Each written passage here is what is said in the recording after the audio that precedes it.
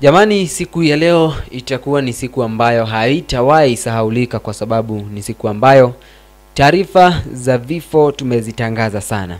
Kuna govern, uh, governors official ambaye alifariki.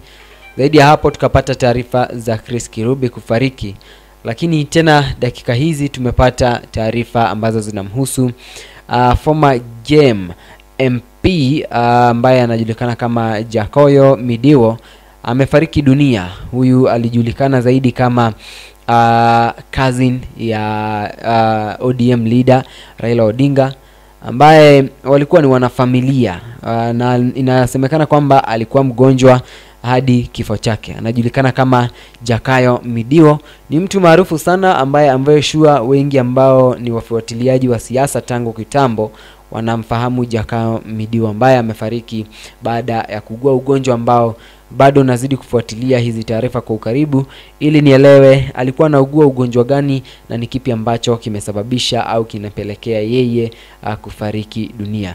Uh, na amefariki akiwa na umri wa miaka hamsini na nne 84.